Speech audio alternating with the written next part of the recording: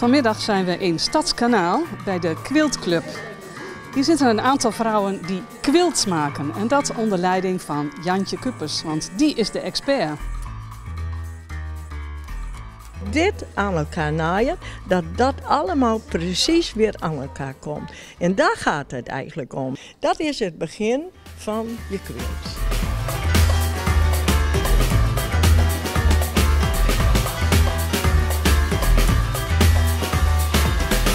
Waar komt dat vandaan?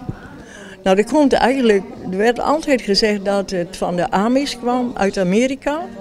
En uh, Almonen is daar, heb daar heel veel onderzoek naar gedaan of dat echt wel zo was. Want zij twijfelde daar altijd aan. En uiteindelijk is het ook zo, het komt uit India.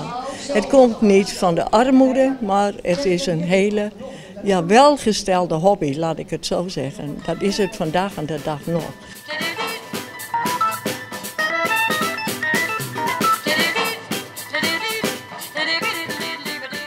Maar dit was een, uh, uh, eigenlijk een, uh, ja, zo'n zo'n omtrek van, van een beddenkleed. Wat we eigenlijk weer jammer vonden om hem stuk te knippen. Dan hebben we dat toch wel meegekregen om het niet allemaal stuk te knippen. Dus dat is dit. En, en dan hebben we deze helemaal zo doorgekwild dat alle bloemen zijn we omheen gegaan.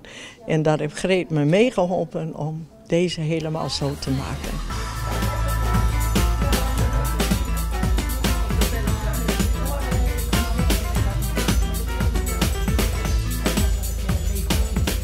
Het is zelfs zo ver gekomen dat er een boek uitgegeven is. Hoe kwam dat?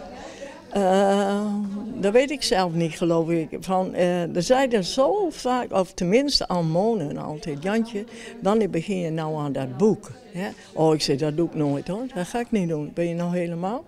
En uh, toch ja, dacht ik altijd wel van, uh, goh, dan zag ik dat, dat is nog van mijn grootmoeder hè, en dat is daar nog van.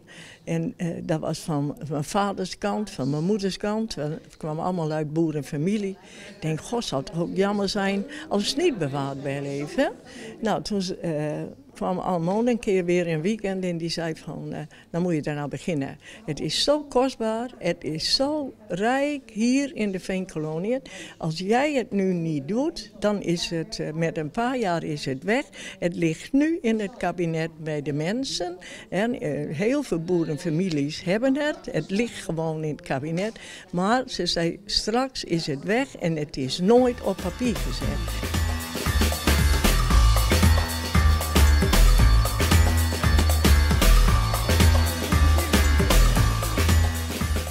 De start van een quilt. Ik ben begonnen te tekenen. Ik had zo'n beetje iets in mijn hoofd en dan heb ik dus verder gaan ontwerpen. Nou heb ik dus hier een wit stuk.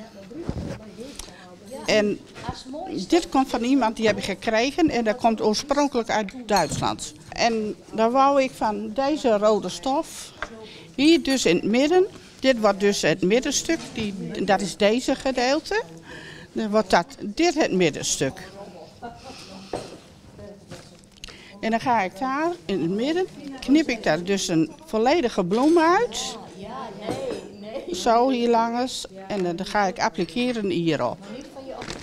Maar als die stof, die witte stof zo oud is, uh, is dat dan nog wel uh, bruikbaar? Ja, zeker. Het, voelt maar hoe mooi dat er nog is. Het is, oh ja, het is een hele stevige stof. Dit is Duits linnen. Dus dat is echt, ja, dat is heel erg ja, mooi. Nooit gebruikt zou ik haar zeggen. Nou, ik denk het wel. Enig idee hoe lang je daarover gaat doen om het, voordat het klaar is? Nou, uh, volgend jaar dus weer kijken. Ik trek er, ik trek er een jaar vooruit. Okay.